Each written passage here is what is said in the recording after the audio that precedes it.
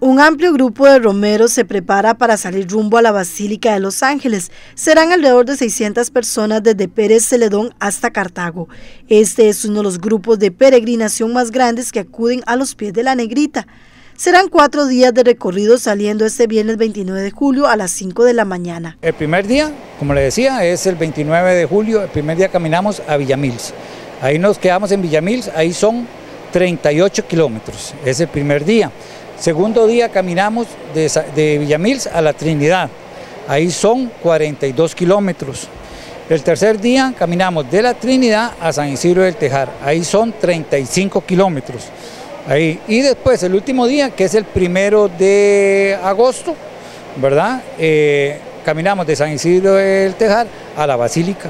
Ahí tenemos que estar llegando, si Dios y la Virgen nos permiten, a las 9 y 10 lo más tardar tenemos que estar ahí porque la misa es a las 9 y 30. Entonces, el grupo en general ese, eh, entra solito, solo Pérez Celedón, entonces tenemos que estar ingresando antes de las 9 y 30. Este año esperan a eso de las 8 de la mañana, el primero de agosto, llegar a la Basílica. Una bendición, eh, ya más bien él nos confirmó hace unos días atrás de que él por lo menos un ratito ahí cerca de Cartago o entrando a la Basílica o por las ruinas va a ingresar con él y algún grupo de sacerdotes de la diócesis, entonces eso también nos llena muchísimo, más que la diócesis fue escogida también para el, para el cambio del vestidito. Para este 2022 se está trabajando para tener una buceta para darle asistencia a la población en el camino.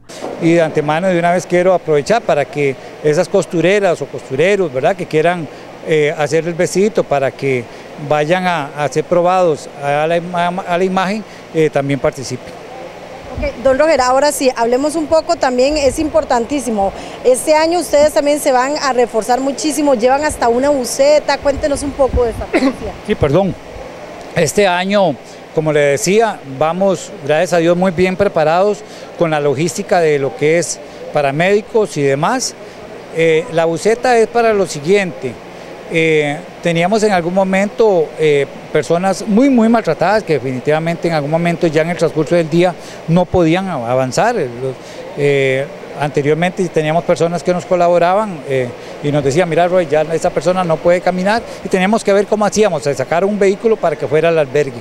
Entonces ahora con esa buceta, la idea es montar a esa persona ahí en la buceta, ver si se le puede dar asistencia, alguna cosita que, si, que pueda ver si se puede seguir y de lo contrario, esperamos que haya una cantidad considerable ahí de, personas en esa buceta y los trasladamos ahí en ella misma al albergue para que vaya y repose en cada albergue. Va a haber gente igual de masaje y ahí eh, los van a revisar y le van a dar las recomendaciones para que el otro día pueda seguir avanzando. Así que los romeros de Pérez Celedón se preparan para salir este viernes.